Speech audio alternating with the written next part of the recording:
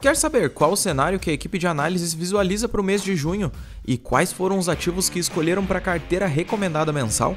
Então assista esse vídeo até o final. Em maio, a carteira recomendada teve alta de 2,14%.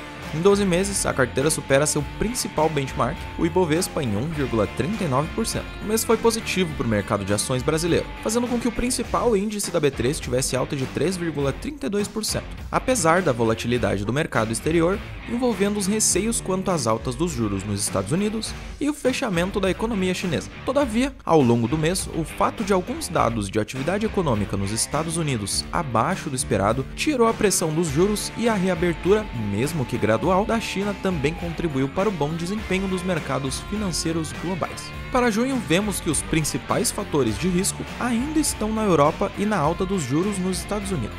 Os efeitos da guerra entre Rússia e Ucrânia continuam a gerar inflação no continente, e como a zona do euro equivale a aproximadamente 35% do comércio global, tais efeitos podem ser pulverizados ao redor do mundo. Nos Estados Unidos, tudo fica em torno dos dados de atividade econômica e os efeitos que serão gerados nas treasuries.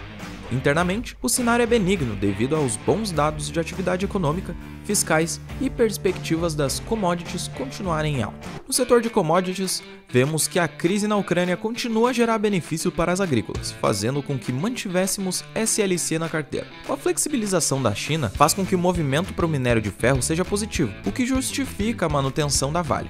Quanto ao petróleo, se por um lado a perspectiva de crescimento global menor acaba por afetar a demanda, por outro lado, a continuidade da guerra na Ucrânia e os embargos da Rússia podem manter o preço do petróleo elevado, além da reabertura da China fazendo com que a PetroRio continue na carteira. De olho no avanço da economia norte-americana, haja vista a forte participação do mercado da região, bons dados operacionais e a possibilidade de compradores inclusive o grupo Ultra, mantivemos a Braskem na carteira. Olhando para o consumo interno, como falamos acima, o atacarejo tende a ser uma boa alternativa dado ao retorno do mercado de trabalho, mesmo com uma renda menor. Por isso, mantivemos açaí na carteira. JHSF continua sendo uma alternativa interessante por conta de seus fundamentos e por ser direcionado ao público de alta renda, que sofre menos com o avanço da inflação ou aumento de juros de financiamento no campo de incorporação e shoppings. Tendo em vista os bons dados de atividade econômica, podendo exigir fluxo maior de rodovias, tal como as proximidades das férias, contribuindo para que CCR entrasse na carteira. As alternativas mais defensivas, temos Bradesco, que continua sendo mais descontado entre os bancos e foi um dos que antecipou a PDD, a previsão de devedores duvidosos, enquanto os demais bancos não o fizeram. As taxas de juros em níveis elevados também é algo positivo para o setor de bancos de um modo geral. Também pensando no interno e a força das commodities que podem trazer capitais para o país, considerando o desconto do papel, colocamos B3 na carteira. A Semig entrou na carteira devido aos bons fundamentos da companhia, como as margens, dívida e mesmo com a alta, os indicadores de valuation continuam descontados. Adicionalmente, a melhora da situação hídrica e alta do consumo de energia pela classe industrial e comercial é positivo para a companhia, dado que ela possui grande parte da sua carteira de clientes nesses setores. Quanto aos ativos que saíram da carteira, tendo em vista a possibilidade de alta dos juros no exterior e a manutenção de alta no Brasil, retiramos a BR Malls. A saída de Marfrig se deve à oportunidade de entrada em outros setores e os receios quanto à redução do caixa na empresa. No caso da Vivo, a retirada foi técnica, com foco em outras companhias descontadas que podem se beneficiar no cenário, além de menor sinergia e mais custos com a aquisição dos ativos da Oi quando comparado com a sua principal concorrente.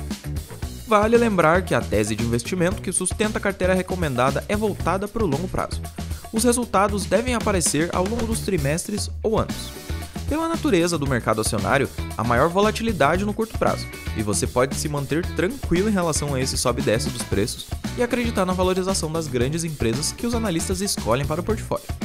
Não se esqueça de que retornos passados não garantem rentabilidade futura. E investir na carteira recomendada pela Nova Futura é muito fácil. Se você já é cliente, basta entrar na área logada e escolher investimentos, carteira recomendada. Em seguida, basta dizer o quanto deseja investir e autorizar o investimento. Nossos especialistas irão realizar a alocação para você. Bons investimentos!